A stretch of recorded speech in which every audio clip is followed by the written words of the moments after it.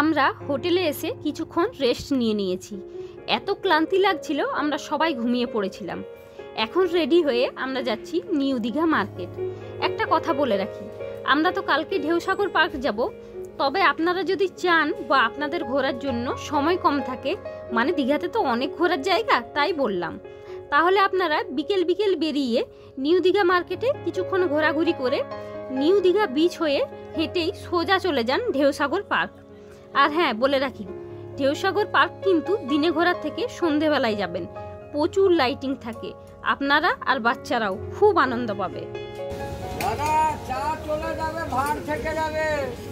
তো আমরা এখন এখানে চা খাব। এই দোকানটাতেই সকালে আমরা লাঞ্চ করেছিলাম। ওদের খুচরো ছিল না তাই পঞ্চাশ টাকা জমা ছিল ওদের কাছে। তাই ভাবলাম সন্ধেবেলায় এখানেই চাটা খেয়ে নিই। আমাদের চা খাওয়া হয়ে গেছে। আমরা যতদূর শুনেছি, দীঘাতে কাজু বাদামের দাম নাকি সস্তা হয়। মানে বিভিন্ন কোয়ালিটির থাকে, কিন্তু অন্যান্য জায়গার থেকে সস্তা। তাই অতি লোভে একটা বাদামের দোকানে ঢুকে পড়লাম। কিন্তু সেখানের দোকানদার তো আটশো, বারোশো, পনেরোশো ঠিক হোটেলের রুম ভাড়ার মতো দাম শুনিয়ে দিলেন। তাই আমরা দাম শুনেই বেরিয়ে পড়েছি। এই যদি এখানে কাজুর দাম হয়, তাহলে এখানে আর কেন কিনবো?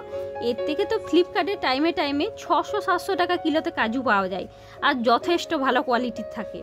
তাই বেরিয়ে পড়লাম।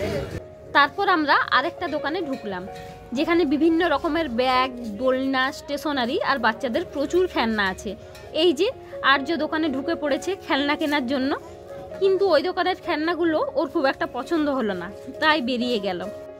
আরও একটা দুটো দোকান ঘুরে ওর পছন্দ মতো একটা খেলনা কিনে দিয়েছি। হ্যাপি? হ্যাঁ হ্যাপি? তারপর আমি একটা ব্যাগের দোকানে ঢুকলাম। আমার একটা পার্স ব্যাগের প্রয়োজন ছিল।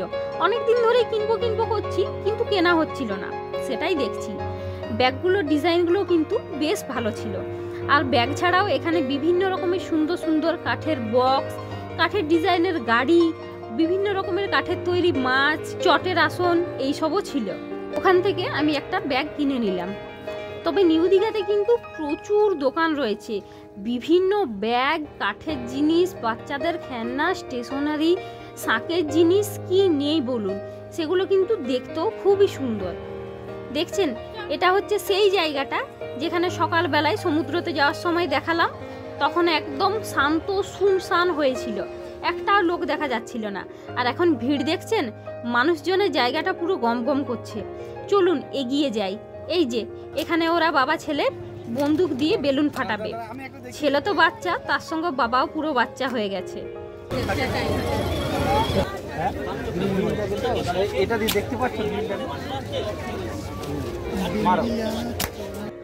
তারপর আমরা সোজা চলে এলাম মাছের দোকানগুলোর দিকে। দেখতে পাচ্ছেন পুরো সার সার দিয়ে বিভিন্ন সাইজের চিংড়ি গলদা বাগদা ছোট চিংড়ি, বিভিন্ন সাইজের ভেটকি, ইলিশ, কাঁকড়া, পাবদা, অক্টোপাস, আবার তার সঙ্গে চিকেনের বড় বড় লেগ পিস, কাবাব, কি নেই বলুন? সার সার দিয়ে কত মাছের দোকান বসেছে দেখেছেন? আমরা এখানে দু প্লেট ছোট চিংড়ি আর দুটো ভেটকির অর্ডার দিলাম। চিংড়িগুলো নিল চল্লিশ টাকা প্লেট আর ভেটকি সত্তর টাকা পার পিস। আর জোর মজাটা একবার দেখুন, মাছ দেখেই নাক টিপে বসে আছে। হ্যাঁ?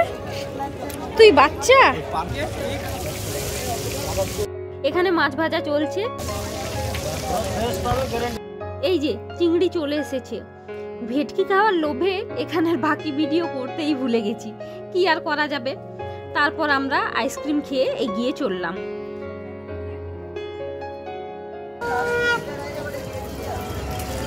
আর তারপর চোখে পড়ল কতগুলো শাঁখের দোকান। এখানে প্রচুর শঙ্খ আর শাখা আছে।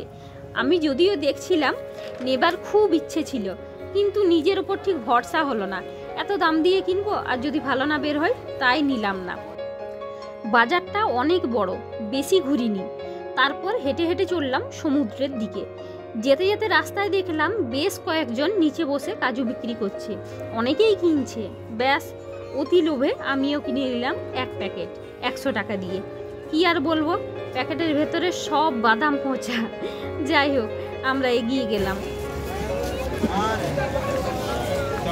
আর নামছো কেন?